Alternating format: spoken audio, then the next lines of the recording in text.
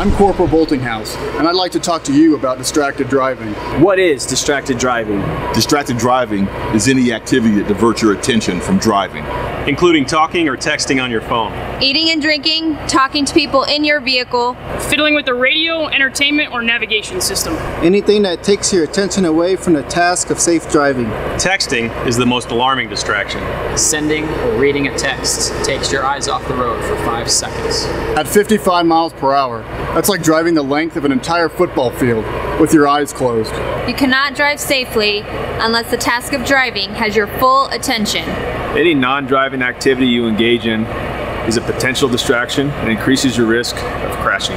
In 2015 alone, 3,400 people were killed, 391,000 people were injured in motor vehicle crashes involving distracted drivers. Over 660,000 drivers are using cell phones while driving. That creates enormous potential for injuries and deaths on U.S. roads. Teens were the largest age group reported as distracted during the time of fatal accidents. Please. Please. Please. Please. Don't.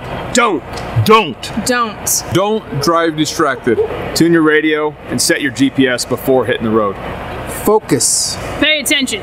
Observe what is going on around you. The life you save may be your own.